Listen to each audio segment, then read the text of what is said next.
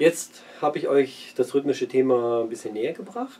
Sämtliche Themen zu diesen Effektstrukturen findet ihr natürlich auf der Homepage wieder. Handvibrato, Mundhohlraumveränderung, dieses ganze Zeug. Und was ich ja auch immer gerne mache, denkt immer dran, Kehlkopfvibrato, am meisten vergessen. Bending habe ich natürlich auch da. Aber dieses Kehlkopfvibrato, das ist ein Effekt, der hat es einfach in sich. Auch das könnt ihr ins rhythmische Thema wunderbar einbauen. Dieses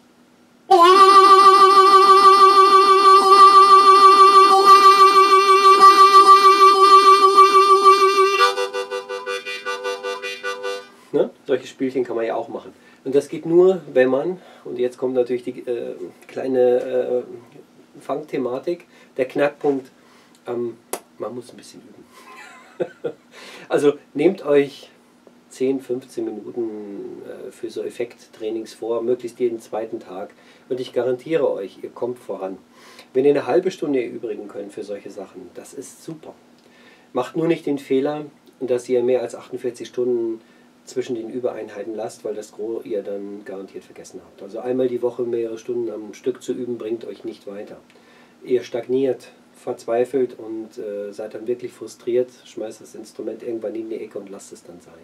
Nehmt euch die Zeit, nehmt euch auch vielleicht, wenn ihr nicht so viel Zeit habt, einfach ein bisschen weniger. Aber versucht immer eure schweren Übungen jeden zweiten Tag zu machen. Ich bezeichne als schwere Übungen jetzt Effektkombination, Kehlkopfvibrato und Banding. Diese drei Sachen, die sind echt heftig. Und wenn ihr damit arbeiten könnt, dann habt ihr einen unglaublichen Fortschritt, äh, Fortschritt gemacht. Overblow, Overdraw, solche Themen, die klingen immer richtig toll. Ne? Aber die sind erst sinnvoll, wenn ihr die anderen Themen gut beackern, äh, beackert habt und gut könnt vor allem. Tonformung, da nenne ich auch das Intervallspiel und dann kommt noch das Akkordspiel dazu. Wenn ihr das alles äh, im Griff habt, dann geht ruhig auf die weiterführenden Techniken Overblow, Overdraw, wenn es dann sein soll. Okay.